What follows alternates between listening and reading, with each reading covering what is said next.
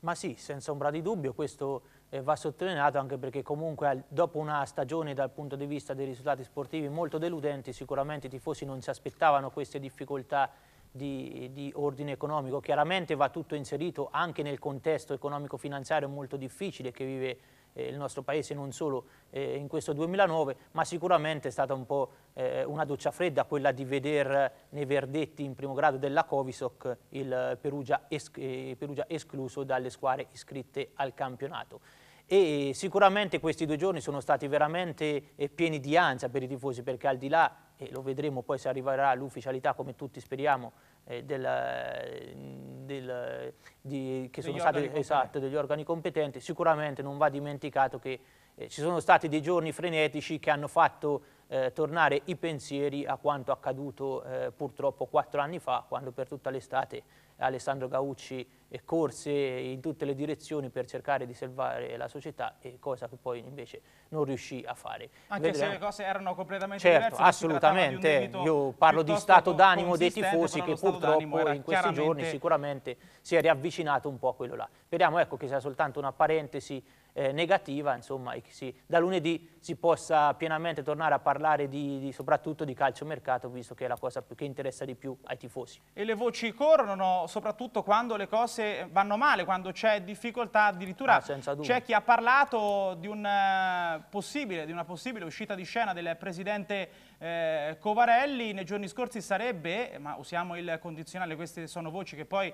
la società potrà anche smentire, sarebbe stato contattato un eh, imprenditore non umbro eh, per eh, ricevere in qualche modo la disponibilità a subentrare al posto eh, di Covarelli che ha cercato in questi giorni inutilmente di prodigarsi anche per il Pisa, Pisa che purtroppo è, fallito e ricomincerà dai dilettanti, la risposta sarebbe stata eh, affermativa, però eh, chiaramente condizioni, la condizione necessaria per proseguire nella trattativa era quella di eh, iscrivere Perugia al prossimo campionato e dunque di questo aspetto probabilmente se sarà vero, se sarà confermato, si parlerà nei prossimi giorni. In una giornata particolare perché in un anno sembra che proprio lo sport perugino stia attraversando una eh, crisi difficilissima da superare superare la scomparsa del calcio a 5, eh, il rischio di iscrizione per il Perugia, l'altra notizia negativa arriva anche per la eh, Despar eh, Perugia eh, che eh, in una prima istanza non è stata ammessa al prossimo campionato di eh, A1 e anche in questo caso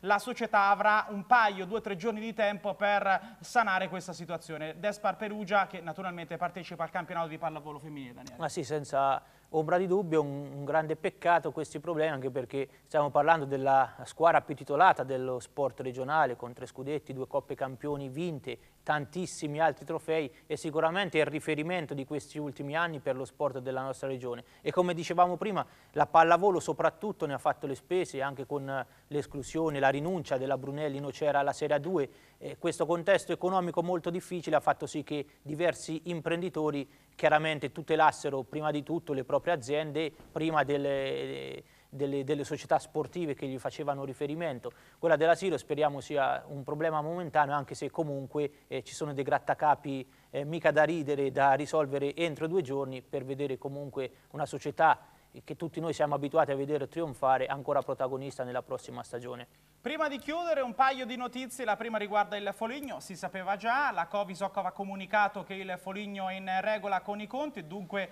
ha dato l'assenza all'iscrizione al prossimo campionato, allora Foligno che comincia a muoversi sul mercato. Lascia comunque Foligno Matteo Coresi che è stato acquistato dal Crotone e dunque giocherà il prossimo campionato in Serie B. Qualche movimento in entrata anche per il Foligno Daniele Sborzacchi? Sì, sono arrivati in giornata due centrocampisti, Castellazzi di proprietà della Sandora nell'ultima stagione, prima alla Ternana eh, poi, poi, alla Propatria ed anche Borgese che era in comproprietà appunto sempre con la Sandoria, quindi il neotecnico Luca Fusi avrà subito a disposizione due, due pedine nuove per il suo scacchiere. Una notizia ultima in questa pagina sportiva eh, riguarda un giovane giocatore camerunense che gioca con il Campitello, si tratta di Boris Louga, di 14 anni che è stato acquistato dall'Inter. Il ragazzo addirittura avrebbe ricevuto i complimenti anche, eh, al, del tecnico, anche dal tecnico eh, dell'Inter, José Mourinho, che lo ha incontrato al centro sportivo Giacinto Facchetti. Louga